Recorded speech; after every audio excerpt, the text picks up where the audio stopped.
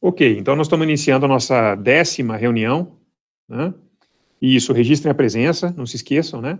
E eu recebo depois esse, esse relatório da Google, né? Com essa, essa presença que vocês estão pondo aí, tá? Enquanto vocês estão escrevendo presente, eu vou, eu vou é, compartilhar minha tela, tá?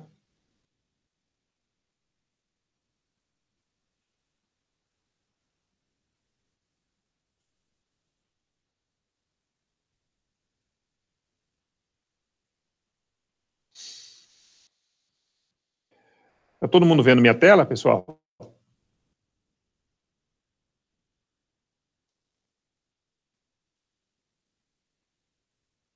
Eu tive um ok aqui, espero que todos estejam vendo. Bom, pessoal, hoje a gente vai falar sobre a, a, a análise integral né, da, da, conservação da quantidade de movimento. Né? Lembrando que essa equação ela é proveniente da segunda lei de Newton, né, do movimento. Ela ela é uma, uma interpretação, né, para volumes de controle da segunda lei de Newton. Talvez na hora de resolver algum exercício, é, a gente consiga perceber essa relação né, bem clara entre a segunda lei de Newton e a equação da conservação da quantidade de movimento. Né. Ela é uma lei extremamente é, importante para a engenharia e de vasta aplicação. Né.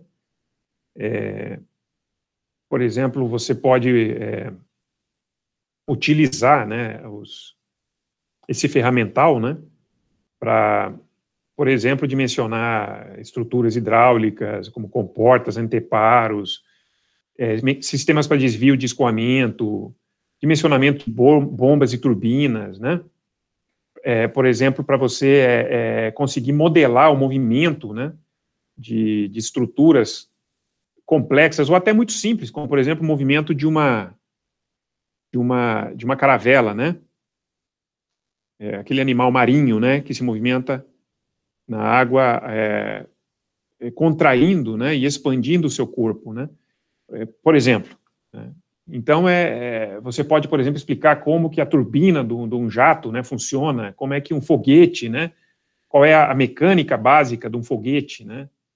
É, você pode, por exemplo, é, é, analisar como que se faz a transferência de potência, né, de, de uma pá de uma turbina para o eixo de, desta, né. Então, realmente, a, a, equação da conservação da quantidade de movimento é extremamente útil para o engenheiro, né, para vários engenheiros, mas principalmente para o engenheiro mecânico. Isso aí eu acho que é, isso não se discute, né. Esse princípio, né, da modelagem do impulso linear da quantidade de movimento, né, ela vem diretamente do conceito da, da, da, da segunda lei de Newton. A, a, a, diferença que ocorre em relação a, ao conceito clássico é que Newton, assim como todas as leis clássicas, né, Newton desenvolveu essa lei a partir da observação de um sobre um sistema, né, de massa fixa identificável. O exemplo clássico é da, da mesa de bilhar, né? Você tem ali a, a bola branca, a bola, bolas vermelhas, por exemplo, e a bola branca, quando ela atinge a bola vermelha, após ter sido impulsionada pelo, pelo movimento do taco do jogador, né? Quando ela toca a bola vermelha, há uma transferência de quantidade de movimento. É assim que o Isaac Newton ele enxergava, né? Pelo menos de acordo com, com a nossa interpretação. Então, a bola branca ela pode, inclusive, cessar, ter o seu movimento cessado, entendeu? E a bola vermelha pode passar a ter movimento. Né? É, aquele movimento que havia originalmente na, na bola branca no instante do, do toque, entendeu? Pode acontecer uma transferência, pelo menos teoricamente, perfeita de quantidade de movimento, né? Ou seja, uma massa em movimento transfere sua quantidade de movimento para outra massa que passa a ter essa quantidade de movimento original, né? Isso é o que a gente estudou nos cursos de física, eu tenho certeza que vocês dominam esse conceito, né? O, a questão da, da, da, do uso do volume de controle expande essa análise para uma situação onde eu posso ter transferência de quantidade de movimento, entendeu? Entre arredores e um volume de controle agora permeável à quantidade de movimento. Isso é uma coisa diferente, entendeu? Isso é uma coisa diferente. É, note que no caso, vou dar um exemplo clássico, que é o foguete. Né? Note que um foguete, né? Ele, ele, no foguete acontece exatamente isso. O foguete ele tem no, no, na sua câmara de combustão, ou melhor, a montante dela, combustível sólido ou líquido, normalmente, né? E, e através de um processo de conversão de energia, né, a energia química desse combustível, né, sólido ou líquido, é, é, é, é convertida através de um processo de combustão, entre outras coisas, em energia térmica, entendeu? Que promove a expansão, né, a mudança de fase e a expansão desse, desse, de, dessas propriedades, que não são, não é mais combustível, é, passa, passam a ser gases da combustão, são é substâncias é, é, resultantes de uma reação química, né? Mas ocorre uma expansão dessa, desse, desses gases, né? É, muito significativa, né? E, e, a gente pode entender isso como conversão de energia química em energia térmica. Pode ser entendido dessa forma. Essa energia térmica, que promove a expansão desses gases da combustão, né? Acabam, acabam aí acaba acontecendo uma outra conversão. Você acaba tendo uma alta energia cinética, né? Nesse escoamento. Esse, esses gases, ao passarem pelo bocal exaustor, pneu do foguete, eles promovem a, digamos, a, a, a, eles aceleram, né? E como reação, olha outra lei de Newton aí, como reação, né? A estrutura tende a reagir, né? Acelerando no sentido contrário, entendeu? Proporcionalmente à sua massa, obviamente. Mas isso é, é, é, a explicação da mecânica né, do, do, do, do, da câmara de combustão de um foguete. Mas note que, do ponto de vista da, da, da, conservação da quantidade de movimento, a coisa é muito mais simplificada.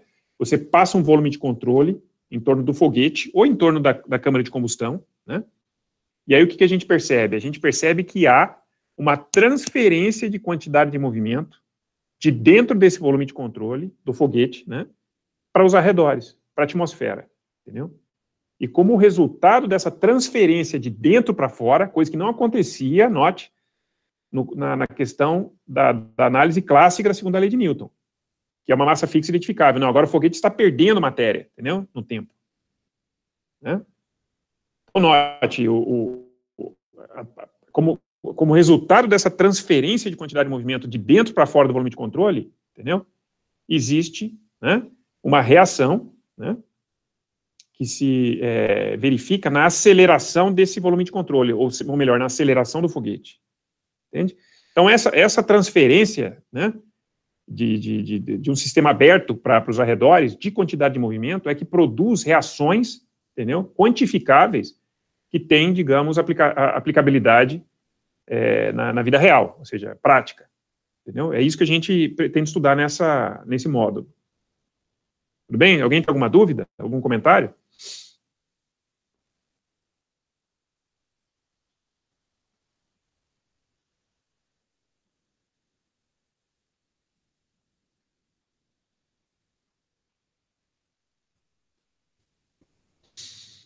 Luiz Felipe colocou eu não, então está bem claro que não tem dúvida, hein, Felipe? vamos, vamos prosseguir.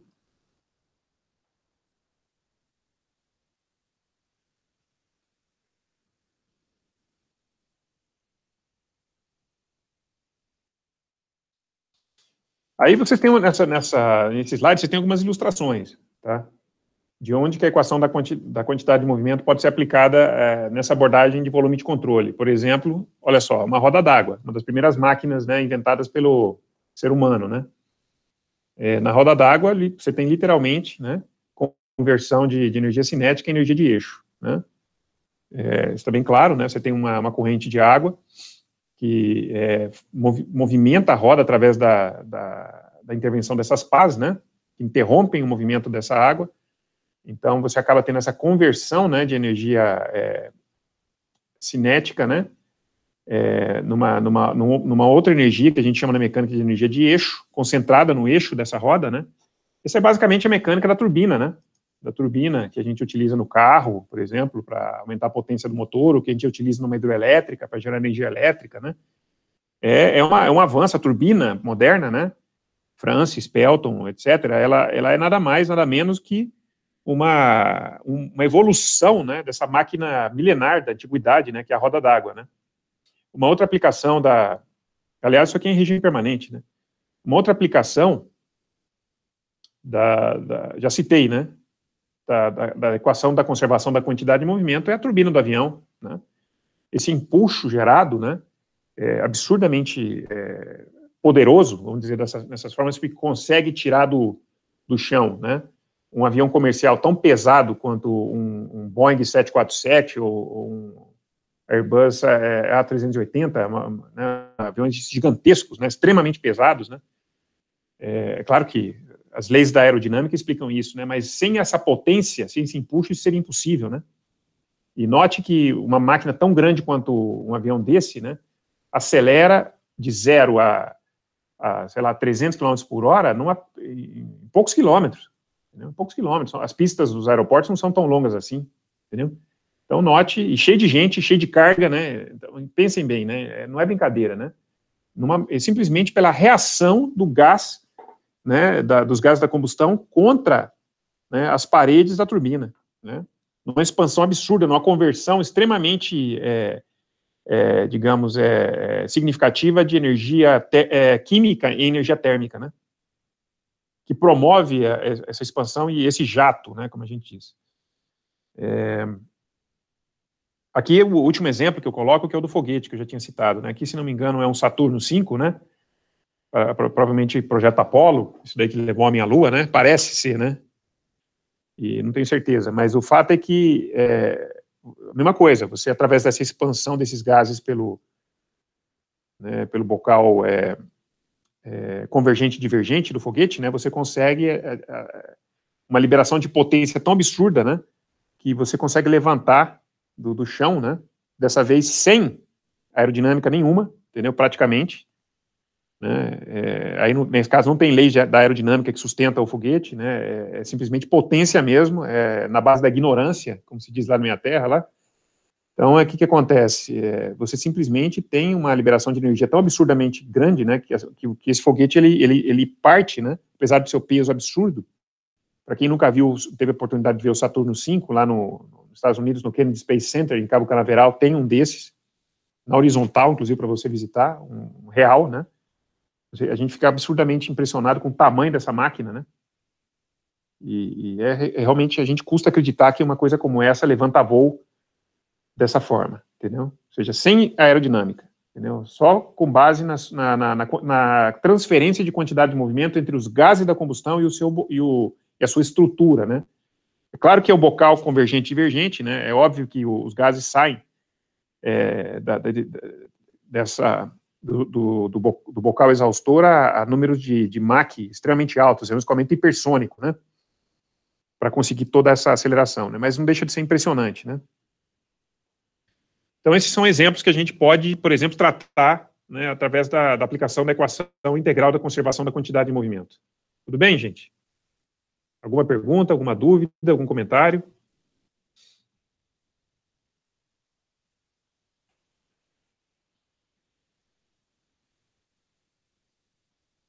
Bom, seguindo em frente. Como é que se deduz essa equação da conservação da quantidade de movimento? É, linear, nesse caso. Vamos, vamos focar só na, na, na, no, na quantidade de movimento linear. Como eu falei para vocês, é a mera aplicação da segunda lei de Newton. Aqui a gente tem que somatório de forças externas agindo sobre um sistema, igual a massa vezes a aceleração desse sistema, né?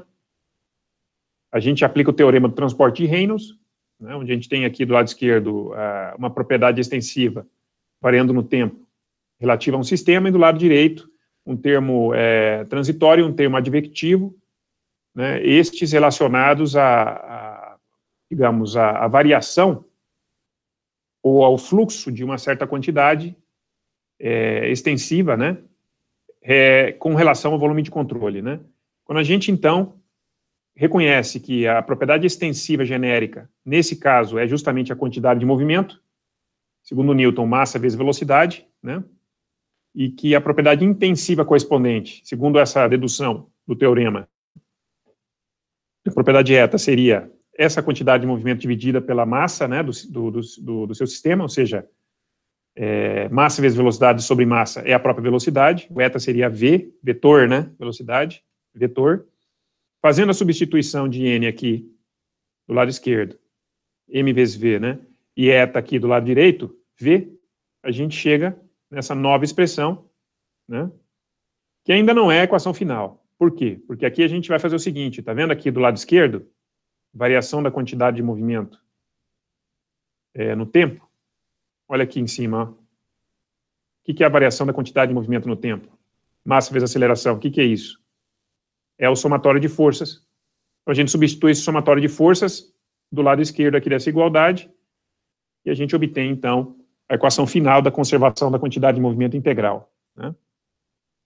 Que, na prática, é, pode ser lida da seguinte forma, né? Ora, quais são as forças externas agindo sobre o meu volume de controle que causam, possivelmente, uma variação da quantidade de movimento desse volume de controle no tempo, e também podem causar um fluxo, né? E isso pode estar relacionado a um fluxo de quantidade de movimento para fora ou para dentro. No caso do foguete, para fora, né? Do volume de controle. Mas tem situações que você vai ter quantidade de movimento é, para dentro também do volume de controle. Isso não tem problema. Tá? A equação dá conta disso. Tá bom? Essa é a equação que a gente é, reconhece como sendo a equação integral da conservação da quantidade de movimento, tá? Lembrando que isso aqui pode ser entendido também através da, de uma equação discreta, que está é, um pouco mais parecido com a aplicação prática, ou seja, aqui a gente pode ter simplesmente a variação da quantidade de movimento no tempo, mais é, somatórios, né? Somatórios de, de, de termos relacionados a fluxos de quantidade de movimento, um termo para cada superfície permeável à quantidade de movimento do volume de controle.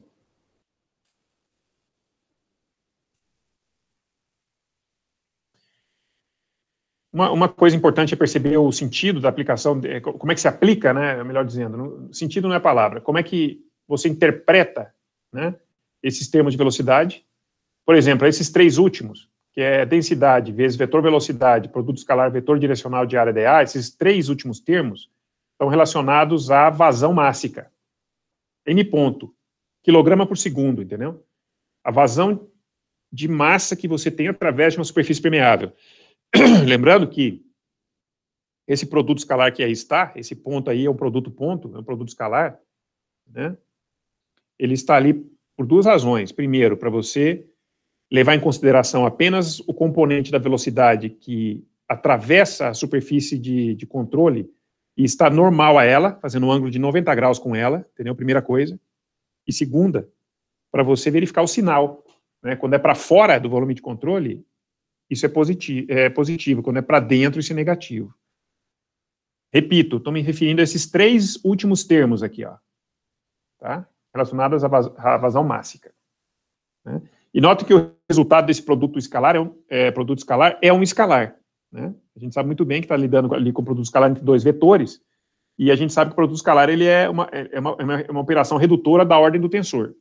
Então a gente recupera um escalar, que é a própria vazão mássica. Né? que de fato é uma grandeza escalar. Agora, gostaria que vocês prestassem atenção nesse primeiro é, vetor velocidade aqui. Ó. Esse é independente do segundo. Muitas vezes, é, esse vetor velocidade é o mesmo. Tá? Esse segundo vetor velocidade é o mesmo do, do primeiro, mas não necessariamente. Eu vou tentar é, é, exercitar esse conceito num exercício hoje. Tá?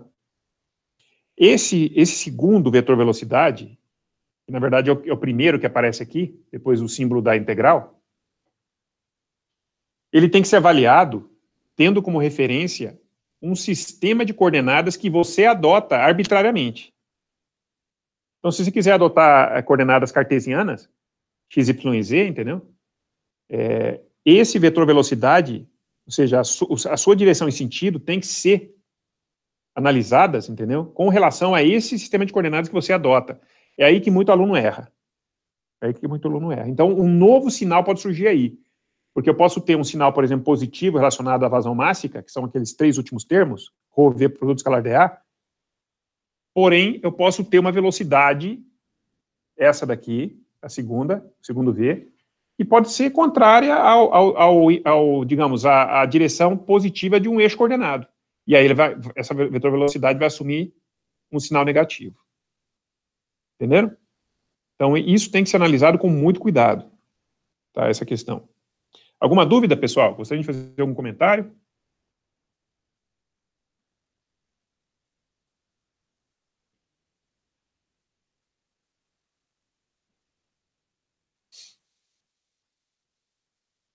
Então, tá bom.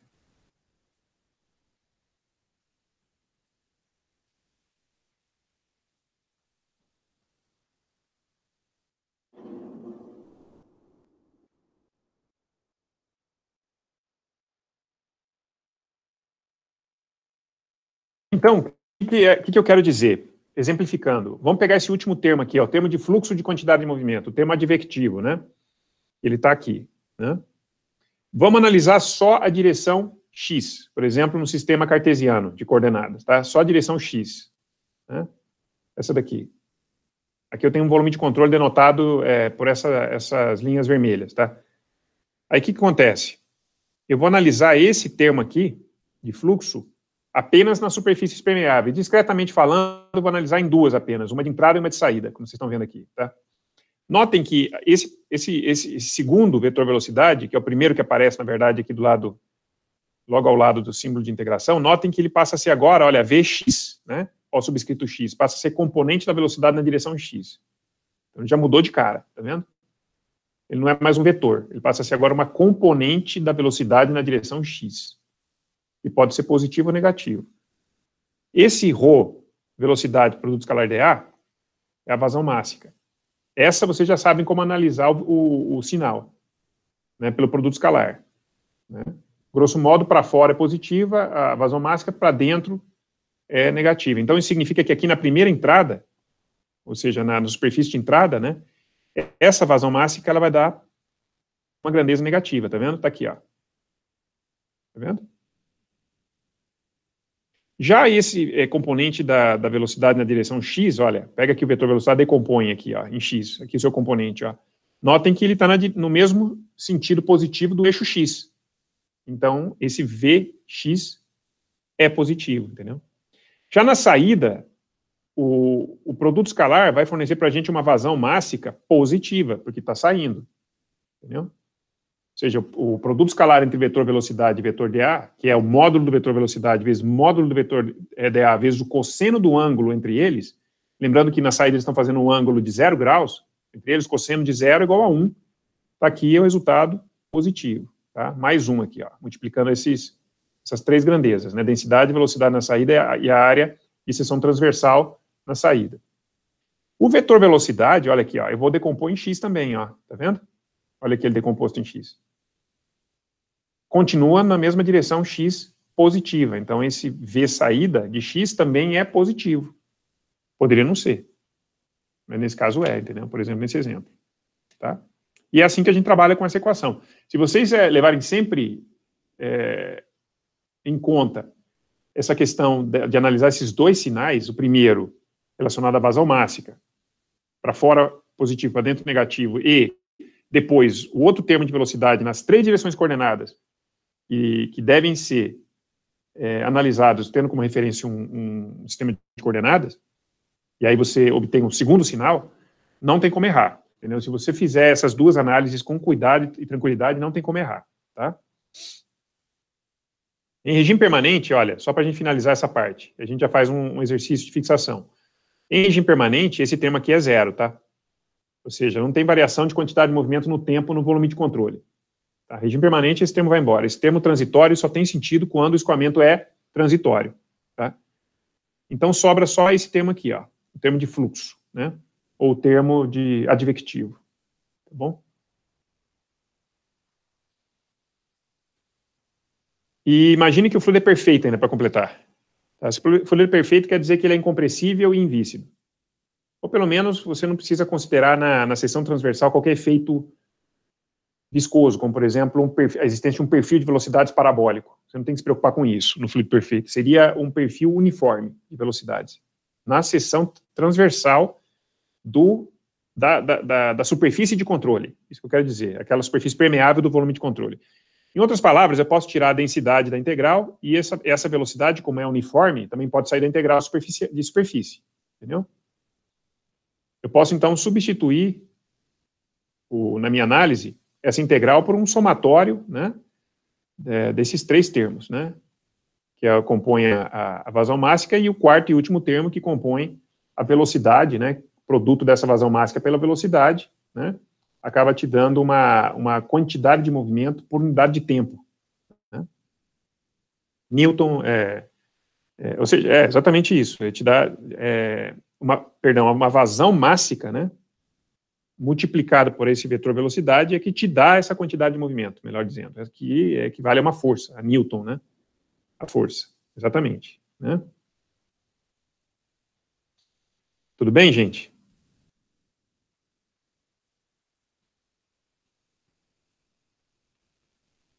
Eu proponho a gente fazer um exercício, né? Eu não sei se vocês é, querem fazer algum comentário a respeito antes da gente seguir em frente. Maurício.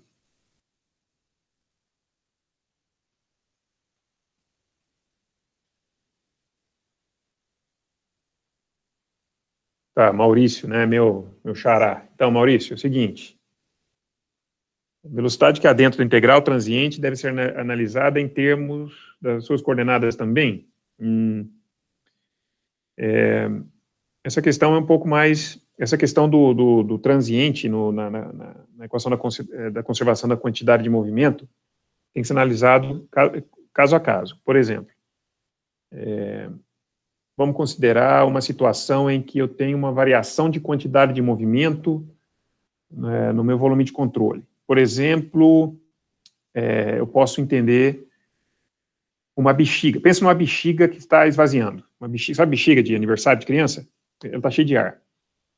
Você já deve ter feito essa brincadeira, que ela está cheia, você está segurando, por exemplo, a, o bico dela, que não está amarrado, né? Mas através do, do, do seu polegar e seu indicador, você consegue fechar o bico. Então, a, a, a, em relação a um referencial inercial, é, ela está estática, né? Essa bexiga. Aí, de repente, você tira, você abre a mão, libera a bexiga, e você percebe que ela sai voando pela, pelo quarto, né? Todo mundo já deve ter feito essa brincadeira, né? Ali, obviamente, tem um fluxo de quantidade de movimento, né? Ali, obviamente, você tem é, esse termo aqui, né? Responsável esse, esse, fluxo de quantidade de movimento responsável, sem dúvida alguma, pelo, pelo jato, né, que está, você tem ali aquele jato saindo pelo bico, e obviamente tem um empuxo associado né, a, essa, a essa transferência de quantidade de movimento de dentro da bexiga para fora. Só que, por outro lado, olha só, você tem dentro da bexiga, né, uma, uma certa massa de ar se movimentando, entendeu? Se movimentando, que tem velocidade, entendeu? Então, uma massa com velocidade se movimentando lá dentro, e isso está diminuindo no tempo. Por que está diminuindo no tempo? Porque a massa, entendeu, de ar lá dentro está diminuindo no tempo, né? E como a pressão também está caindo no tempo, entendeu? A velocidade também da, da, da movimentação dessa massa também varia, tá, também está variando no tempo.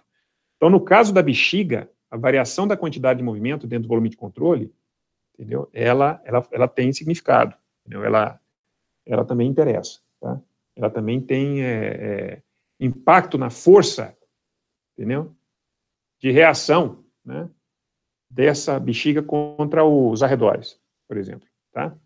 Contra o ar que a, que a circunda. Você falou sobre a, o sistema de coordenadas, entendeu? Nesse caso, entendeu? Nesse caso da, da bexiga, é um, é um pouquinho mais complexo, entendeu? Ela está se movimentando, entendeu? Assim como a, ela se movimenta, o volume de controle está se movimentando junto, você coloca o volume de controle deformável junto à bexiga, entendeu? E essa, essa velocidade está, está variando. É, o que, que, eu, que, que é melhor te explicar aqui? A melhor forma de você computar essa força nesse caso não seria, por exemplo, se preocupando com a direção, necessariamente, né, dessa, dessa, desse vetor velocidade dentro da bexiga, mas talvez você pudesse deixar a equação em função da vazão, tá? De um termo de vazão, por exemplo, que está variando no tempo, entendeu? De, da, da, variação volumétrica do, do, volume de controle no tempo, entendeu? Talvez fosse, a, talvez fosse mais é, útil para você resolver o problema. Lembrando que volume de controle é sempre uma aplicação, é sempre uma aplicação, é, digamos, simplificada do problema. Se você quer detalhes, vai para análise diferencial, tá? Então você tem que ver como que você vai obter essa força relacionada a essa variação de quantidade de movimento da forma mais é, útil para você. Entendeu? Nesse caso, você considerar o vetor velocidade dentro da bexiga não faz muito sentido. E note que não faz sentido porque pensa comigo, que velocidade que é mais significativa nesse problema? Será que é a velocidade do jato, que é essa daqui, ó, do jato de fluido, entendeu? Que passa pela boca da bexiga, que promove um fluxo de quantidade de movimento, ou a variação de velocidade que você tem do ar contido dentro da bexiga? Entendeu? Qual velocidade você acha que tem mais significado para produzir uma força de reação, entendeu? É nesse sentido que eu quero dizer, tá? Se der tempo, a gente faz um exercício, não sei se hoje vai dar tempo, mas a gente faz, se for o caso, na, na quinta-feira, onde a gente pode, é, é, digamos, é, exercitar exatamente esse conceito. Por exemplo, esse daqui, ó. A gente pode fazer esse exercício, que é o exercício da, da água viva, né? A água viva, ela tem a, a sua quantidade de movimento modificada no tempo, durante esse movimento que ela faz. É um movimento, não sei se a gente pode chamar de peristáltico, né? Não sou médico, mas é, ele tem esse, esse, ela tem esse movimento de contração né, e expansão, e ela acaba se movimentando numa direção preferencial, entendeu? Mesmo que ela, no mesmo período de tempo, ela tenha o seu preenchimento e a sua expulsão de gás. Ou seja, é como se fosse uma senoide, entendeu? Mas ainda assim você tem uma direção preferencial. Ou seja, do ponto de vista da conservação da massa, não, não teria qualquer tipo de resultado líquido, né? Ela se preenche com a mesma quantidade de líquido que ela expele no mesmo intervalo de tempo para cada processo, entendeu? Então não haveria resultado líquido quanto à conservação da massa. Mas a gente sabe que ela se movimenta numa direção preferencial. Isso é por causa da variação de quantidade de movimento. Isso não está relacionado só a fluxo. Está relacionado também a uma variação interna da quantidade de movimento. Então, talvez a gente faça esse exercício, me lembrem, na quinta, para talvez a gente poder discutir um pouco melhor essa questão da sua pergunta. Tá? Mais alguma, algum questionamento? A gente pode tentar fazer um exercício. Hum?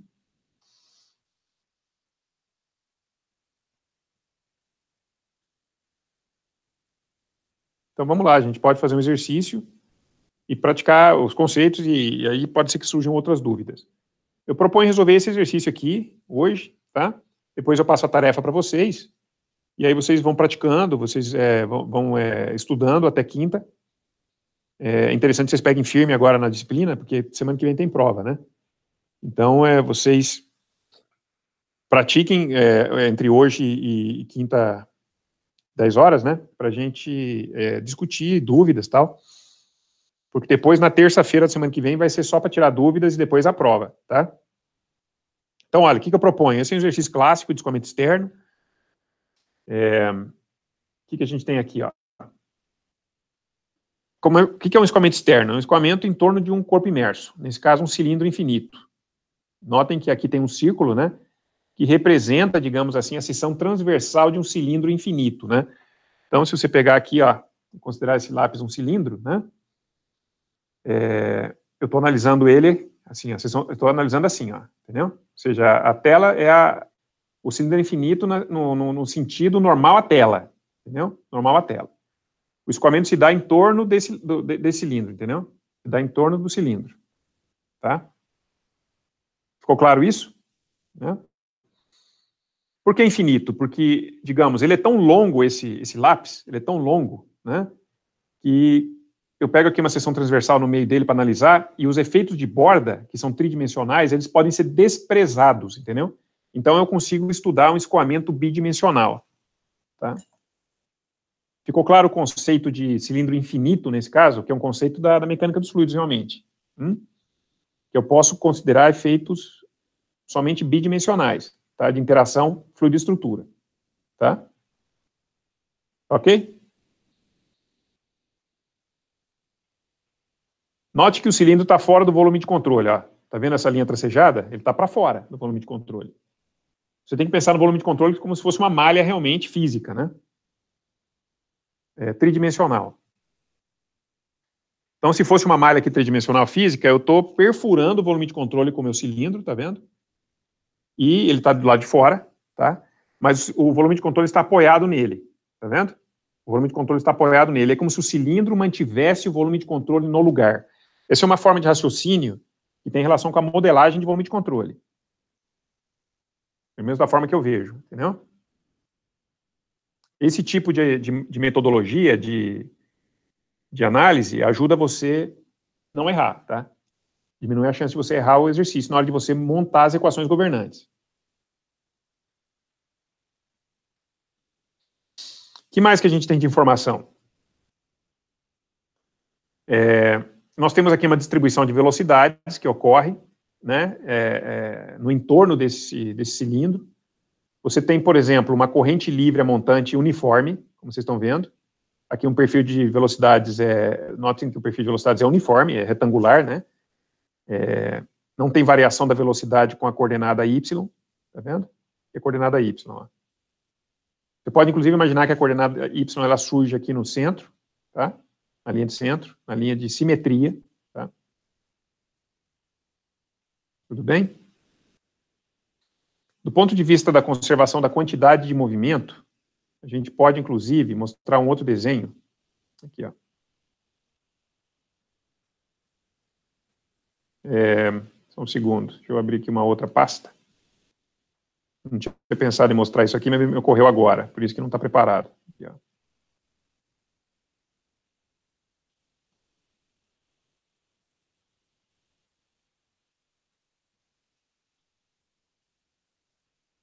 Eu acho que eu tenho um desenho aqui que é, deixa bem explícito o que eu estou dizendo. Tá? Deixa eu ver se eu tenho mesmo. Não, não tenho. Gozado. Ah, já sei, já sei, já sei por que não está aqui. Peraí, desculpa. Está na análise diferencial.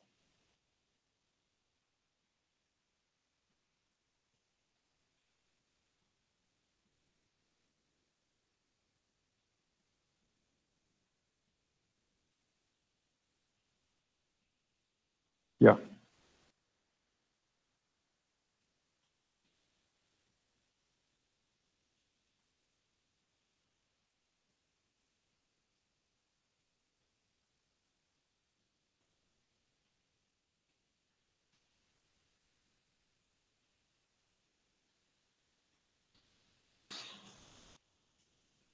Então, olha, ao invés de, de, desse aerofólio, considerem que aqui é o cilindro, né? Então, o que, que a gente percebe, né? Tem aquela corrente livre montante, entendeu? Aquela corrente livre montante, é, que é uniforme, né? Porém, quando o escoamento ele passa pelo, pelo corpo imerso, né? Aquela condição de contorno viscosa de velocidade zero na parede, nesse caso na parede do corpo imerso, vale, entendeu? Já que esse é um escoamento real, não é um escoamento invícido, é um escoamento real. Então, o escoamento passa, que está em contato, digamos, o, a, o fluido, melhor dizendo, está em contato com a parede do corpo imerso, tem velocidade zero. Já que esse corpo imerso tem velocidade zero em relação ao observador que se encontra no referencial não inercial. Está viajando junto com ele, com o corpo imerso. Junto com o cilindro ou junto com, com o aerofólio, nesse caso aqui. Entendeu? Então, o que, que acontece? Você passa a ter a jusante agora uma defasagem, tá vendo? De quantidade de movimento, que não deixa de ser uma defasagem de massa também entendeu? Com velocidade mínima no centro, na linha de simetria, entendeu? E máxima na fronteira da esteira viscosa. Lembrando que fora da esteira viscosa, o escoamento nem sabe que existe um cilindro ali. O, o escoamento nem tomou conhecimento da presença do cilindro, ou do corpo imerso qualquer, entendeu? E a, se você vai mais a jusante, notem que o escoamento vai voltando ao normal, digamos. Ele vai se assemelhando, né, ao a corrente livre a montante, que é uniforme. Numa distância longe o suficiente do, do cilindro, em x, ou seja, com x tendendo ao infinito, né, você recupera o formato do perfil de velocidades uniforme da corrente livre a montante, tá? Tem muito a ver com aquele filme que eu mostrei para vocês, que mostra aquele aerofólio passando, né, segundo o referencial inercial, passando por, por, um, por um escoamento, né, e aí você, você verifica né, a movimentação do fluido, depois que o, o, o aerofólio passa, esse fluido tende a, a voltar à situação estática original. Tá bom?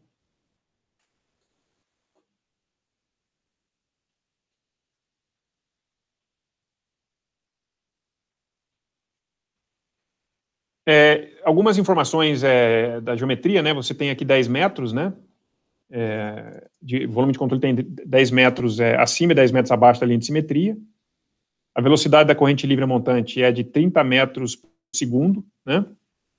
É, aqui você tem o perfil não uniforme de velocidades, né, que ocorre devido à defasagem de quantidade de movimento, é, o efeito viscoso que eu citei, entendeu? Que é dado por essa equação, é, ou seja, essa velocidade que varia com y é igual a 29 mais y ao quadrado sobre 100 metros por segundo. E significa o quê? Que quando y é igual a zero, eu tenho aqui na linha de simetria, neste ponto C, uma velocidade de 29 metros por segundo. Notem que é mais baixa que a velocidade da corrente livre montante. Entretanto, quando y, quando y é igual a 10 metros, eu tenho 10 elevado ao quadrado, 100 sobre 101, eu tenho 29 mais 1 igual a 30 metros por segundo. Então, exatamente neste ponto C, a 10 metros da linha de simetria, entendeu? O, está a fronteira, entendeu? Da minha esteira viscosa. Ou seja, após 10 metros, no ponto C, o escoamento não sente mais a presença do corpo imerso. Ficou claro essa questão, pessoal?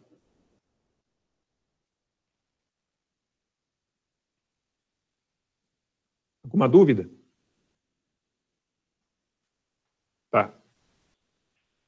Olha, como que a gente pode entender esse, esse, esse problema? Esse é um problema clássico, como eu já disse. Você pode entender, vamos fazer, pensar da seguinte forma. Imagine que você está, isso é uma vista superior, tá? Imagine que você tem um canal, você tem um canal, você tem um, um canal, obviamente, com dimensões finitas, você tem um cilindro com dimensões muito menores, em termos de diâmetro e comprimento bastante grande, uma relação é, é comprimento-diâmetro, um número, é um número bem grande, acima de 40, tá, pelo menos, e você tem, é, digamos, você está olhando de cima para baixo, assim, entendeu? E aí o escoamento está passando por esse cilindro, ficou claro isso? Esse foi o experimento que eu fiz, uma vez na Bélgica, alguns anos atrás, eu queria mostrar para vocês algumas fotos sobre isso. Essa aqui era a instalação experimental, a gente utilizou. É, o que, que acontece? Aqui você tem um tanque. Esse tanque, ele era, é, não está mostrando aqui, mas tem uma bomba e mantém o nível desse tanque constante, entendeu? Então, esse tanque está sempre constante, com nível constante. Isso significa que ele estaria, na prática, cumprindo o papel de um tanque de grandes proporções, apesar de não ser de grandes proporções. Vocês estão vendo, né? Mas como o nível dele fica mantido através do, da ação de uma bomba no sistema de bombeamento, é um tanque que mantém o seu nível constante e a vazão que passa por esse, esse, esse tanque aqui, essa, essa vazão, ela é uma vazão constante, consequentemente, tá? Uma vazão constante que passa por aqui consequentemente. É um canal de seção é, retangular, tá? É, e aí, o que, que acontece? A gente tem uma câmera aqui, ó, para filmar esse escoamento. E essa câmera, ela está posicionada de tal maneira que ela está observando justamente a seção transversal de um cilindro que aqui se encontra, atravessando, né, de fora a fora o canal. E aqui eu tenho um laser, né, um emissor de laser, que vai literalmente criar uma folha de laser horizontal, pensa bem, horizontal, que vai atingir, entendeu? Que o cilindro se encontra assim na vertical, entendeu? Essa folha de laser vai cortar o cilindro no meio, assim, ó, entendeu? Cortar é modo de dizer, né? Vai passar horizontalmente pelo, pelo cilindro, né? Então, note que quando você observa de cima para baixo, o que, que, você vê? Você vê exatamente aquele desenho, você vê a, a seção transversal do cilindro, né? E você vai ser capaz de ver a folha de laser. Você é capaz de ver a folha de laser. Claro isso? Aqui eu eh, estou olhando, eh, eu vou, eu vou, digamos, eu estou praticamente vendo o que a câmera vê, mas não exatamente, porque tem uma angulação, tem um desvio, né? Mas é apenas para ficar claro, né, que está aqui o cilindro, né, está aqui o cilindro, a câmera está vendo isso de cima para baixo, tá? Aqui está o, o, o, meu canal de seção retangular, né, e o escoamento passa pelo cilindro, né. A câmera literalmente vai ver algo assim, né, vai ver algo assim, tá? Digamos que a, a o canal, né, seja, digamos, as fronteiras do canal estejam de alguma maneira relacionadas às fronteiras desse volume de controle que vocês estão vendo aqui. Tá? O escoamento que chega é um escoamento corrente livre montante, tá bom? Você tem um escoamento que vem de um tanque de grandes proporções, ele, ele penetra né, no, no, no canal é, uni, uniformemente, né? É claro que vai, vai começar a se formar uma pequena camada limite, mas ela é, é o cilindro está muito próximo da entrada, ela vai ser muito fina, a gente pode desprezar isso, tá? A gente pode desprezar essa parte. Isso entra, digamos, na, no pacote do, do, cilindro infinito, tá? No conceito do cilindro infinito. Bom? Aqui vocês veem o experimento já em ação, né? Vocês veem aqui o, o laser já aplicado, né? É, iluminando, né? Ele é bastante fino esse laser, né? entendeu? Ele tem uma espessura de alguns micrômetros apenas, tá? Algumas dezenas de micrômetros, e, ou seja, muito fina diante da, do, do, comprimento do, do, próprio cilindro, né? É como se fosse realmente um corte na seção transversal dele. Né? A câmera filmando por cima aqui, e o laser iluminando o, o cilindro. É... Agora tem uma coisa importante que eu esqueci de falar. O laser, pensa aqui comigo, ó. O laser ele vai estar iluminando, entendeu? Esse cilindro aqui, ó, num plano horizontal. A câmera está filmando por cima aqui, ó. A câmera tá, é uma vista superior, está filmando por cima. O que, que acontece? O laser não consegue iluminar a parte aqui ajusante, imediatamente ajusante do cilindro, entendeu? Se forma uma sombra aqui, ó. Então, o laser, ele vem, ilumina, né, toda essa parte aqui frontal, superior e inferior, digamos assim, tendo como referência uma vista superior, né? Mas note que aqui se forma uma sombra, entendeu? Aqui se forma uma sombra. Então, é só para vocês não confundirem essa sombra, entendeu? Com física, né? Então, aí vocês veem nessa, nessa tela do, do computador, vocês veem essa sombra que eu estou me referindo. Olha, isso aqui é o, é o cilindro, visto por cima pela câmera, tudo isso aqui está iluminado pelo laser, e olha aqui a sombra aqui, ó, tá vendo? Essa sombra aqui é a sombra que é feita justamente a jusante do, do quando eu falo jusante, tendo como referência a, o ponto de emissão do laser. A jusante do cilindro fica essa sombra que não tem significado, tá, físico. Mas como o escoamento ele é simétrico, entendeu? Como o escoamento ele é simétrico, o escoamento ocorre nessa direção aqui, ó, a gente pode tranquilamente é, inferir o que, que a gente tem abaixo, pelo que a gente, pelo que a gente tem acima, né? já que o escoamento é simétrico. Ficou claro isso? Então não chega a ser um prejuízo. Tá? Então aqui a gente vê exatamente isso, aqui o emissor de laser, né? a câmera está aqui em cima, né? Vocês veem o laser, o plano, é um plano horizontal, atingindo o cilindro, e olha aqui a sombra, ó. olha aqui a sombra, tá vendo? Essa técnica que eu estou mostrando para vocês, aos poucos, é a técnica conhecida como PIV, do inglês Particle Image Velocimetry. Velocimetria por imagem de partículas em tradução livre. Tá? O PIV se caracteriza pelo, pela aplicação né, de, de três componentes principais. Um plano de laser, que vai estar, tá, é, é, na verdade, oscilando, é, dispar sendo disparado intermitentemente, a uma frequência bastante alta, Segundo equipamento, uma câmera de alta velocidade e de alta resolução.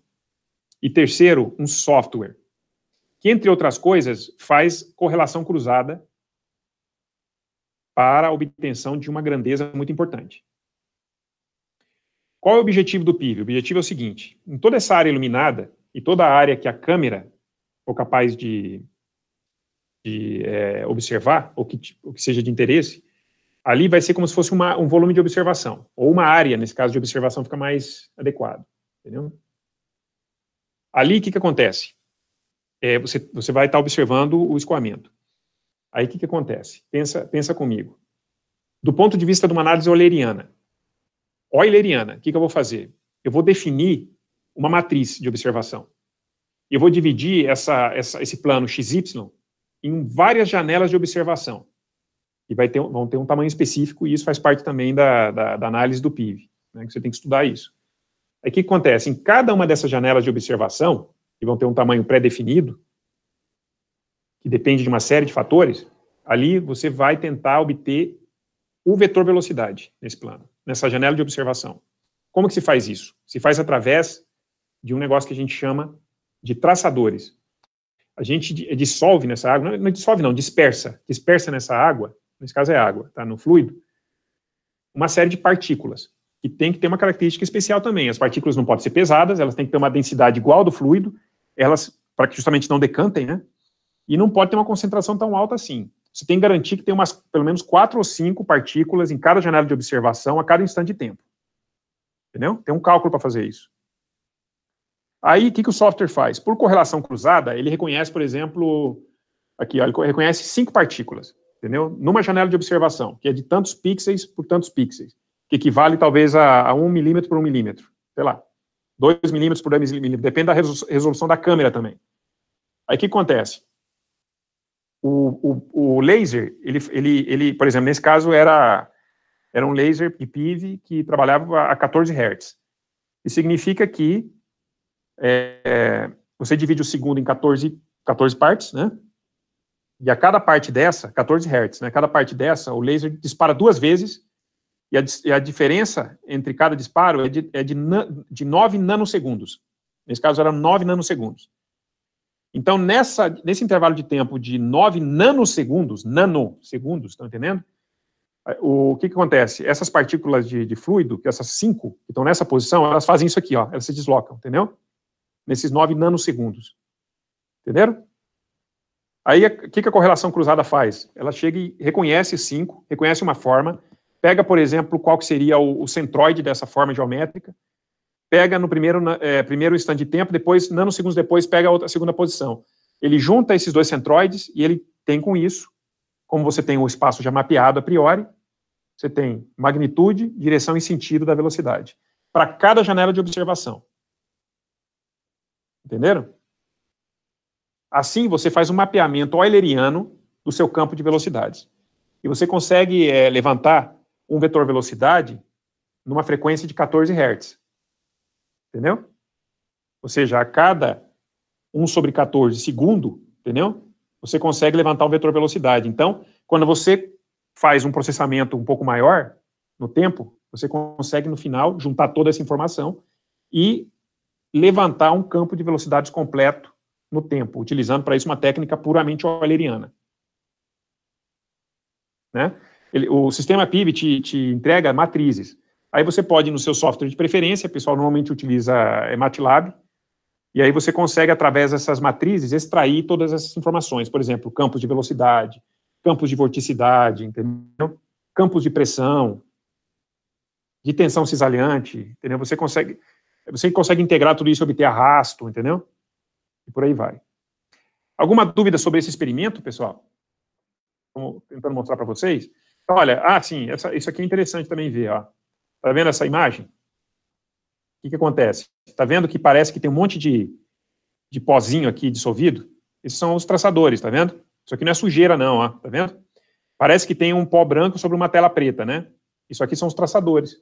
Nesse caso, foi utilizado talco. Foi disperso na água, talco mesmo, talco de, de, de passar em bumbum de bebê. Entendeu?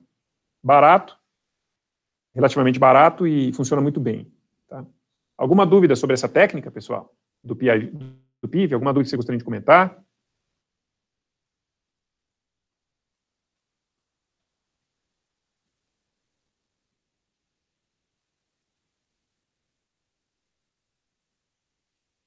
É, Rubens, é uma, é uma técnica contemporânea, tá? Bastante é, útil, né? Bastante poderosa, né?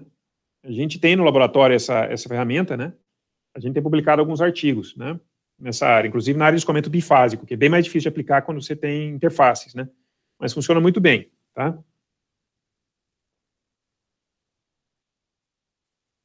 Espelhado a imagem? É, claro. É, é, poderia ser feito, mas o é, que, que acontece? é, essa questão de espelhar a imagem, a meu ver, só faria sentido se eu trabalhasse já com dados médios, né? O que, que acontece? Eu quero mostrar para vocês o desenvolvimento, por exemplo, de uma esteira de von Karman, num certo intervalo de tempo. Né? Digamos que eu usei o PIV por um minuto, entendeu? Aliás, isso gera uma quantidade de dados enorme, viu? Demora, às vezes, horas para o computador processar tudo isso.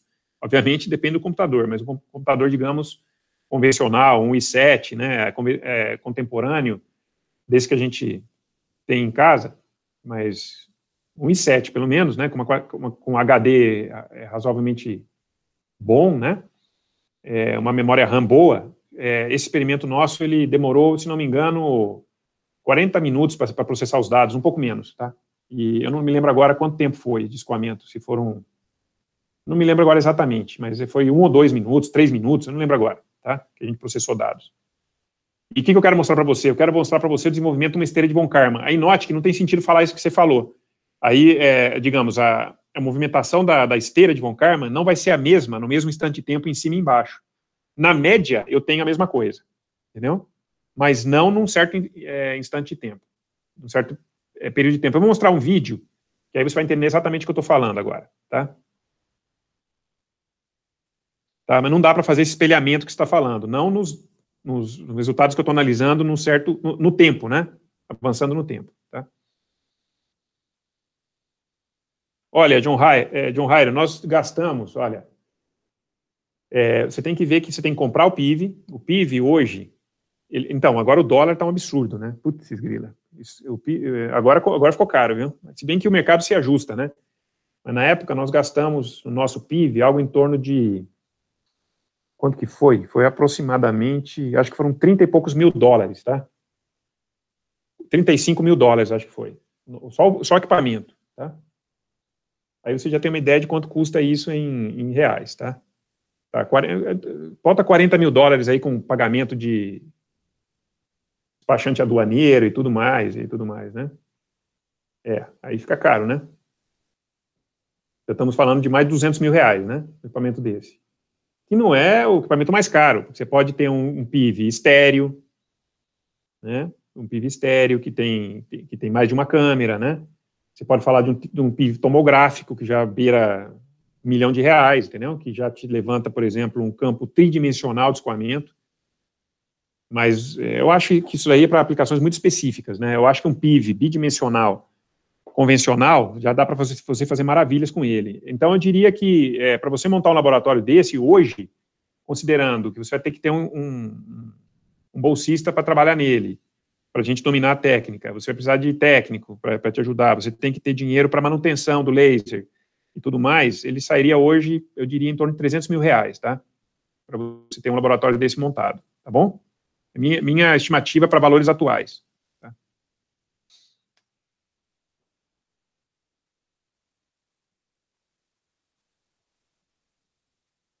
É, onde eu estava, sim. Então, é, é, eu acho que eu já mostrei todas as fotos que eu queria mostrar. Tá? Agora, o que, que acontece? Vamos ver o resultado de o que, que o PIB pode te entregar após você tratar um pouquinho os dados, né, usando o MATLAB, né?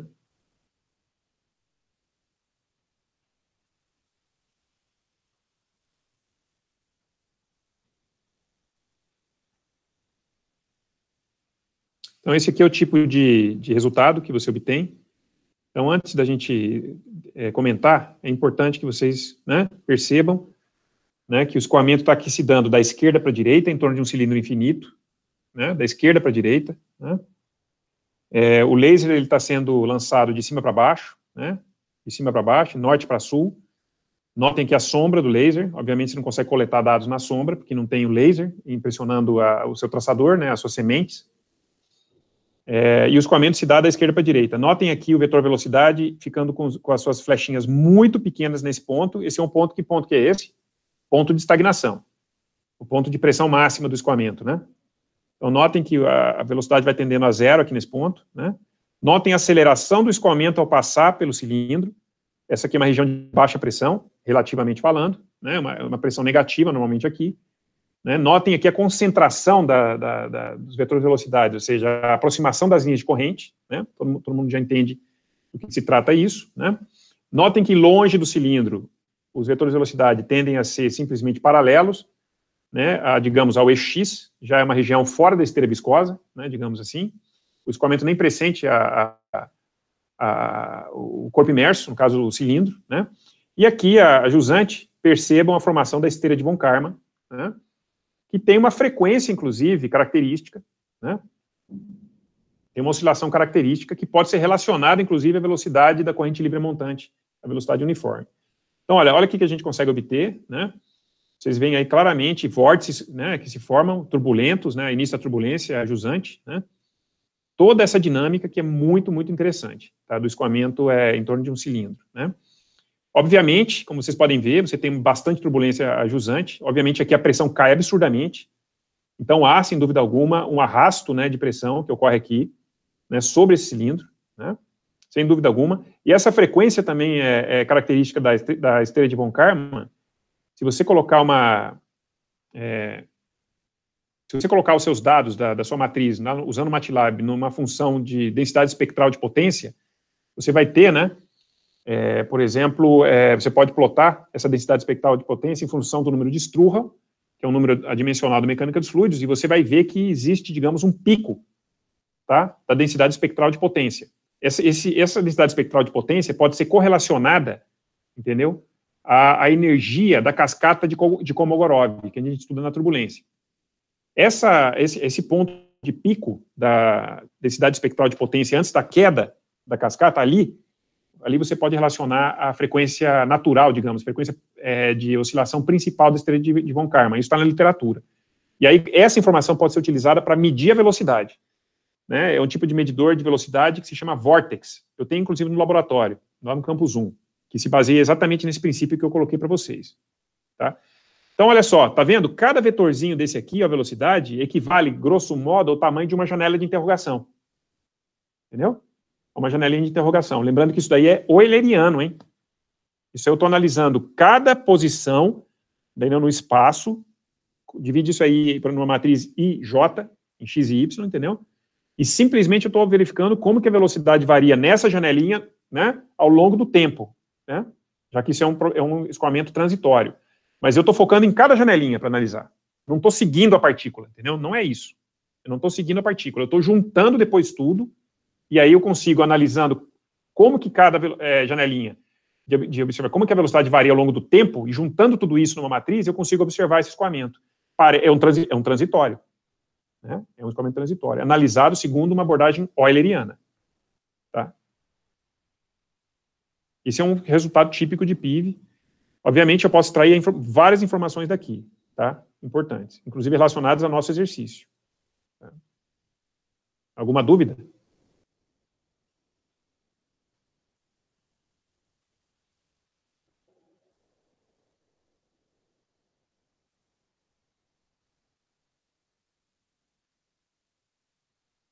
Na verdade, João Rairo, o PIV ele foi desenvolvido eh, inicialmente para trabalhar com ar, tá? ele foi é, desenvolvido inicialmente para trabalhar em túnel de vento, tá bom? Por exemplo, para aplicações aeroespaciais, tá? Ele foi usado primeiramente para ar, tá? Depois para água, é, é, escoamento em canais, e finalmente para escoamento em canais, é, quando eu digo canais, canais abertos. Depois, finalmente, historicamente, isso que eu estou te falando, né? É, finalmente em, em, condutos forçados, seria tubos, né? Ou então, por exemplo, um canal retangular como esse que eu estou apresentando no exemplo. Bom?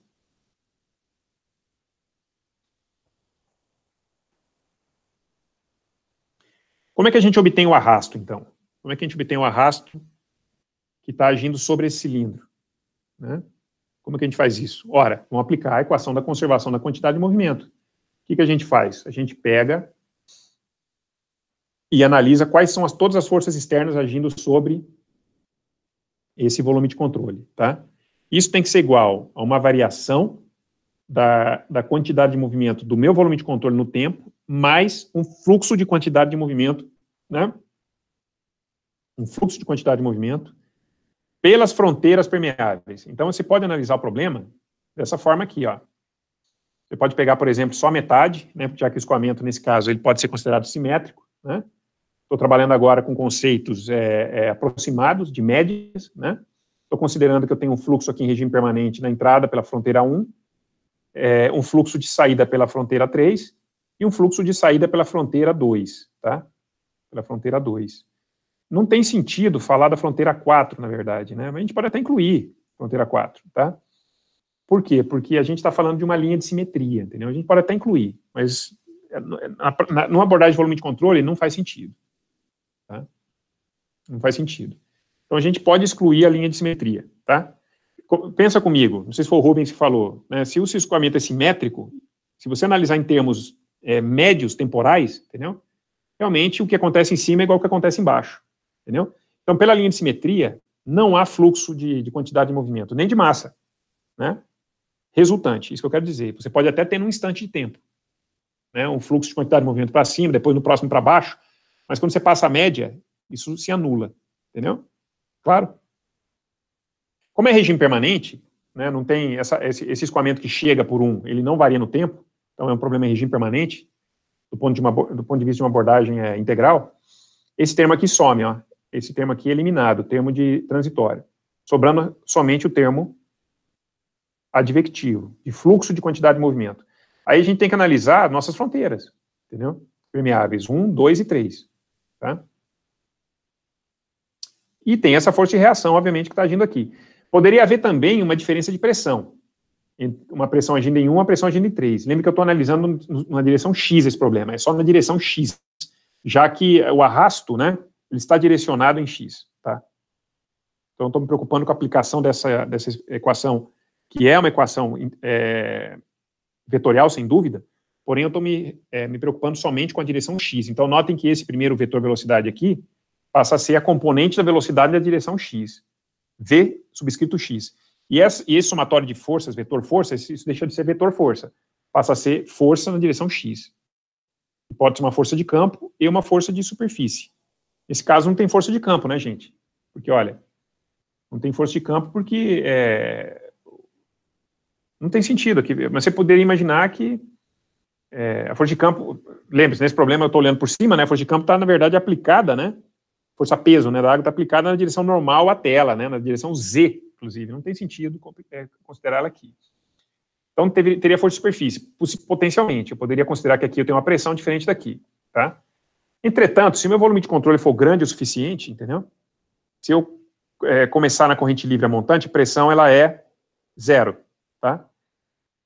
Manométrica. E se eu considerar um volume de controle longe o suficiente, talvez ela seja próxima já de zero, tá? Uma região onde a esteira de von Karman começa a se dissipar.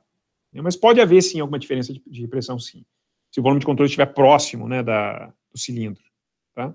Então, por enquanto, vamos considerar por uma questão de generalidade. A gente pode considerar, tá? Então, o que acontece? Quando a gente analisa agora a nossa expressão, a gente tem três superfícies permeáveis, um, dois e três, né?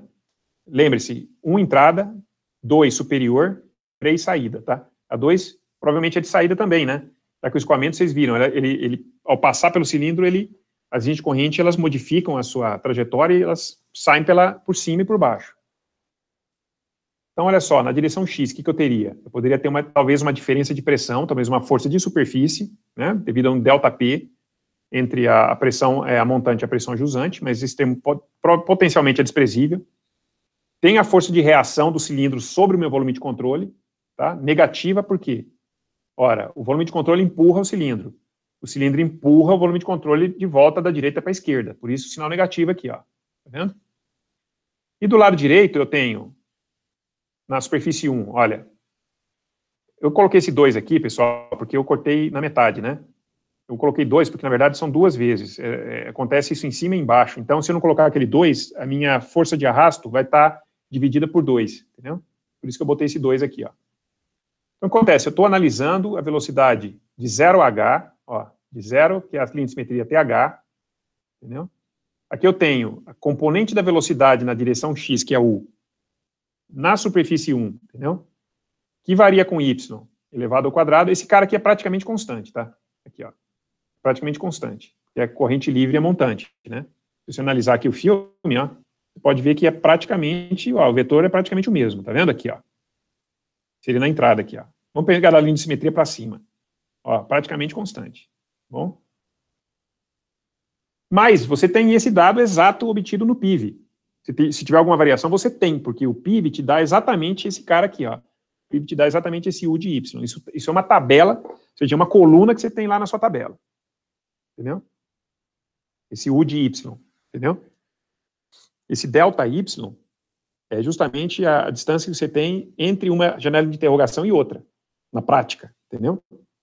Na prática você não trabalha com funções contínuas, na, prática você trabalha com discreto, tá? Nesse caso. Obviamente, você pode transformar essa distribuição numa, num, através de uma regressão polinomial, por exemplo, você pode transformar numa função contínua para poder fazer integrações e, e derivações. A gente faz isso também. Ó, por cima, aqui por cima, ó, aqui por cima, o que eu estou fazendo? Eu estou integrando, não de 0 a h, ó. Não estou integrando de, de 0 a h, não. Eu estou integrando de 0 a l, tá vendo?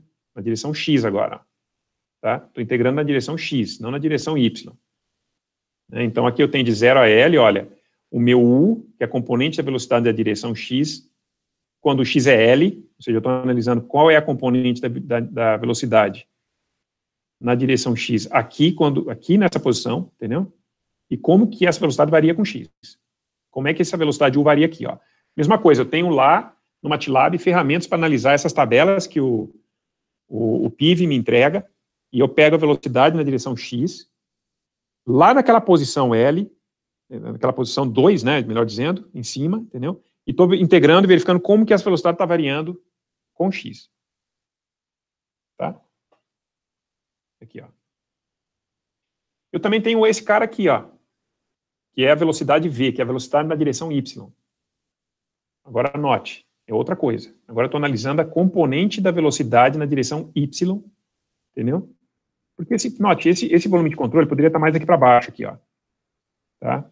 Aí note que, olha, aqui eu já tenho, olha, um, uma, um vetor velocidade nesse instante de tempo que tem componente x e y, tá vendo? Agora eu estou pegando u em x e v em y. E é esse v aqui, ó, em y que eu estou analisando. Aqui, ó, nessa integral, tá vendo? Esse v vezes a área vezes ρ é a vazão máxima. Agora vem aquele negócio que eu falei lá atrás.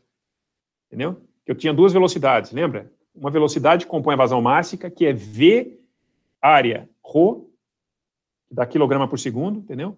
Que é a velocidade que está atravessando a fronteira 2, ó, de dentro para fora do volume de controle. E eu tenho a outra componente de velocidade na direção x, que vem aqui, ó, que é esse u, tá vendo? Que vai, digamos, é, ser responsável pela transferência de quantidade de movimento na direção x. Então, o que acontece? De dentro para fora do volume de controle, eu tenho uma vazão máxima que sai em y, e aí eu tenho, vindo em x aqui, ó, a componente u, que multiplicada por essa vazão mássica, me fornece a transferência de quantidade de movimento entre volume de controle e arredores, entendeu? Nessa fronteira 2. Aí tem um conceito importante embutido nisso aí. Eu quero saber se vocês entenderam isso. Isso tem a ver com com aquele negócio que eu falei lá atrás, quando eu estava deduzindo a equação.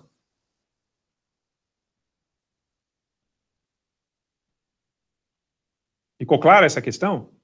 Da, do que, que é velocidade U, o que, que é velocidade V aqui? Nessa fronteira aqui, que seria a fronteira AD,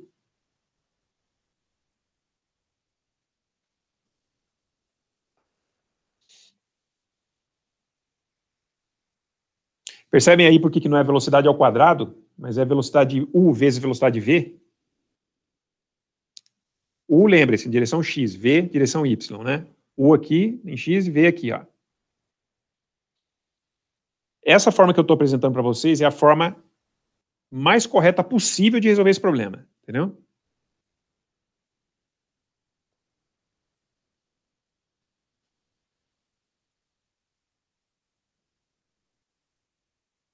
É, é isso mesmo, Andrei. A, a, área vai ser U vezes dx, tá? Essa, essa outra coordenada, é, que está relacionada à unidade, no que você pôs aí, na verdade, é na direção normal ao cilindro. Eu estou resolvendo o problema é, em função do, de, de, da, da, coordenada de comprimento do cilindro. Entendeu? Então, no final, essa força de arrasto não vai ser simplesmente newtons, tá? A resposta vai ser um número newtons sobre metro. Que metro? Metro de comprimento de cilindro, tá? Bem observado. Entenderam, gente? Então, essa é a forma mais adequada de resolver um problema de volume de controle. É você conhecer, entendeu? O, o, as, as componentes de velocidade em função das direções coordenadas, por exemplo, U de x, U de y, V de x, como vocês viram aí, entendeu? E realizar a integração desses caras, entendeu? A integração desses caras. Então, primeiro você tem que fazer médias temporais desses elementos para posições fixas, você define, e depois, de posse dessas médias, entendeu? Você pode, por exemplo, fazer integrações, usando, o MATLAB já tem é, expressões para isso, mas, por exemplo, você poderia utilizar um, um polinômio para obter seu U de x, o seu U de y numa determinada posição, e depois realizar uma integração, como você aprendeu no cálculo, nos cursos de cálculo. E aí você consegue, com isso, entendeu? Obter exatamente, entendeu? Os termos de fluxo de quantidade de movimento, né? Cuja somatória, entendeu? Cuja somatória permite calcular o arrasto sobre o cilindro. Entende? É assim que se faz. Entendeu? Tá? Então, assim, esse exercício que aparece aí, o exercício 2, que é um exercício clássico, que aparece em qualquer livro de graduação, note que ele já é uma bela simplificação, entendeu? Do que, que você faria no laboratório para conseguir esse arrasto.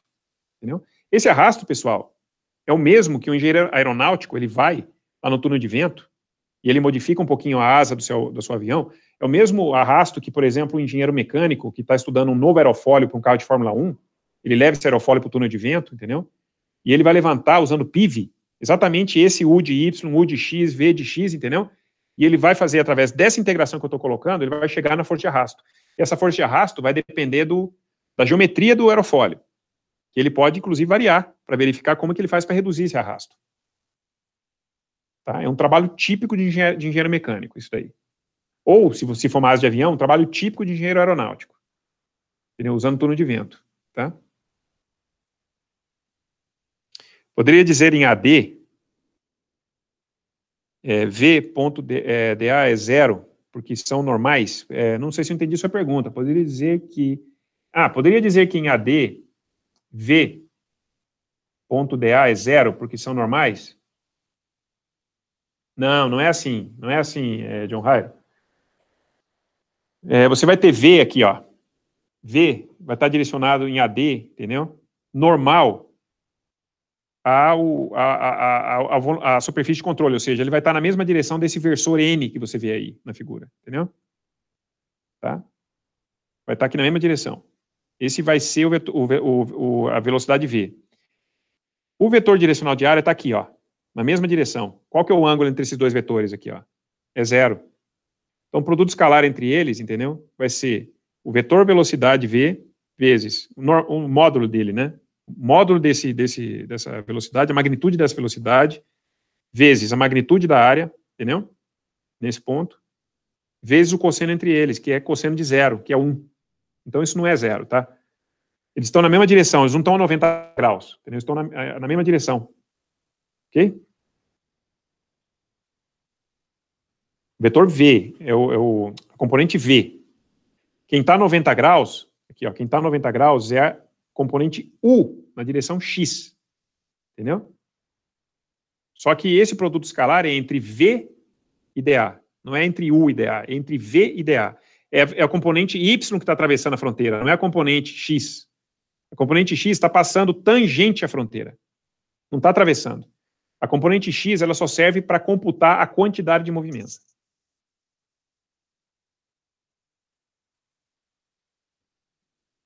Entendeu? Isso não é tão simples assim, não é todo aluno que entende isso que eu estou falando, tá? Então eu peço que vocês pensem um pouco sobre isso, se ficaram com dúvida, tragam as dúvidas para quinta-feira, entendeu? Que é, esse é o tipo de coisa que eu costumo cobrar na minha prova, esse tipo de conceito que eu passei aqui agora. Bom? Muito mais do que resolver exercício. Tá? Então, quando você analisa agora o resultado, entendeu? Continuando aqui, Lembrando que esse termo aqui ele pode ser desprezado na maioria dos casos, tá? Esse último termo aqui que é de força de superfície, que seria devido a um ΔP, tá? Mas assim, quando você chega na, na, nesse, nesse, nessa expressão final, entendeu? Esse, ah, esse aqui é o código que eu usei para calcular isso. É, é, aí que acontece? Note que a, a, força de reação, né, do cilindro no volume de controle, né, ele vai depender, né, obviamente, ele vai depender, obviamente, da, do fluxo de quantidade de movimento que entrou no volume de controle, ele vai depender, obviamente, do fluxo de quantidade de movimento que saiu, né, que saiu do volume de controle. Lembrando que esse cara aqui, ele não é uniforme de jeito nenhum. Esse cara aqui, ele, ele, ele é, é, é, é existe um perfil, né, mais ou menos desse formato, ali na saída. Se você analisar o vídeo, isso eu acho que fica bem claro, né. Note que aqui, na fronteira da, da esteira viscosa, a velocidade volta a, a ser praticamente a velocidade da corrente livre montante, entretanto, aqui no centro, ó, centro ali de simetria aqui, ó. Tem algumas velocidades até negativas aqui, tá vendo? Ó, tem, tem vetor velocidade voltando aqui, um vórtice, tá vendo? Então você tem um vórtice ali. Então tem pontos ali onde a velocidade é negativa, é positiva, na média ela é positiva. Entendeu? Mas vai ser menor do que aqui, ó. Porque aqui em cima você não tem negativos, entendeu? E lembre-se, eu vou fazer uma média temporal para obter essa equação aqui, ó. Essa equação que você está vendo aqui eu só consigo obter depois de fazer a média temporal. Acho que a gente fez um, em três minutos ali naquele caso. A gente fez uma média de três minutos de coleta de dados. E a gente chegou numa equação parecida com essa aqui, ó, aqui no centro. Entendeu? E tem esse formato aqui, ó. Entenderam?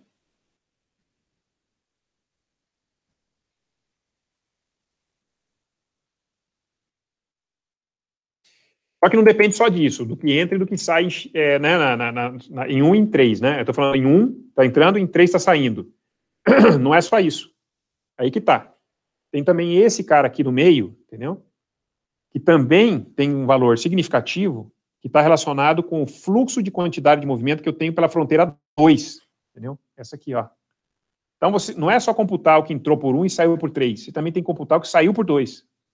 E é esse cara que é mais interessante, porque nesse cara não é só como no caso 1, que é a velocidade de u ao quadrado, velocidade 3 ao quadrado. Notem que no caso da fronteira 1 e da fronteira 3, ó, esse V aqui é igual a esse aqui, ó. Ou seja, o, o, esse, esse, esse segundo V é igual ao primeiro V.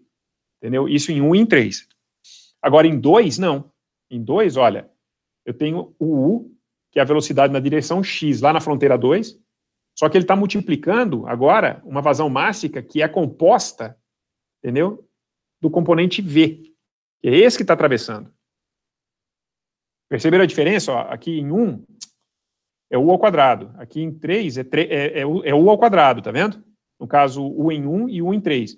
Agora, lá em, em 2, ó, é U vezes V. É diferente.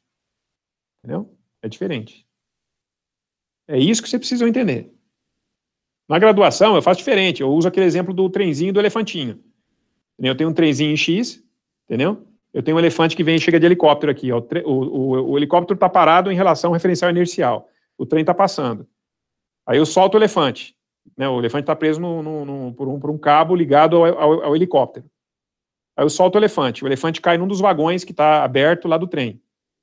Você concorda que o elefante ele vai tender a frear o, o trem na direção X? O, o, elefante caiu em Y, mas ele está freando o trem em X, tá vendo? Isso é uma conversão, é uma transferência de quantidade de movimento. Entendeu? Estou tratando dessa transferência de quantidade de movimento aqui. Nesse ponto aqui, nessa, nessa integral central aqui, na segunda.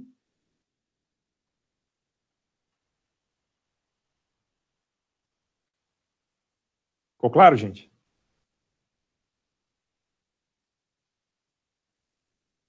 Como é que resolve esse exercício? Vocês têm lá na, na, Eu não vou resolver aqui, vocês têm isso lá na, nas notas de aula, a, resolução, tá? Então, por favor, estudem nas notas de aula como é que se resolve da forma mais simplificada, tá? A forma mais correta é resolver essa equação aqui, como eu falei, ó. Resolver essa equação aqui. Para isso, você precisa conhecer, né, esses, esses é, perfis de velocidade. U em, U em X, em L, V em X, U em Y, né? Em todas as fronteiras. Uma forma de obter isso é usando PIV. Você poderia obter isso usando anemometria de fio quente, você poderia obter isso utilizando tubo de Pitot, entendeu? Tem várias formas de fazer isso. Eu mostrei uma forma, que é usando PIV. Tá? LD, LDA, né, anemometria por laser Doppler, você pode usar um monte de técnicas. Tá?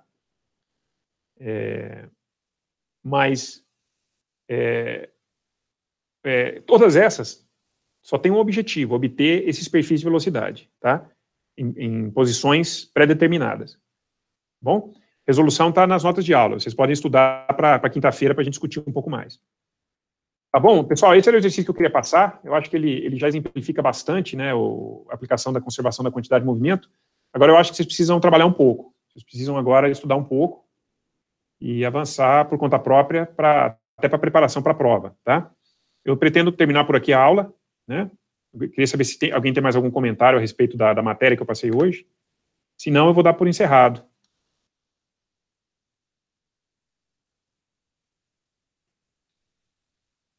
Bom, então se não tem nenhum comentário, pessoal, então eu vou, eu vou terminar a aula por aqui. Tem bastante material aí para vocês estudarem. Na, na as, as, tarefas dessa semana estão aqui, ó. Tá? É, aí vocês têm o material, né? Vocês têm uma, as notas de aula, né? Aliás, isso aqui é assim, ó.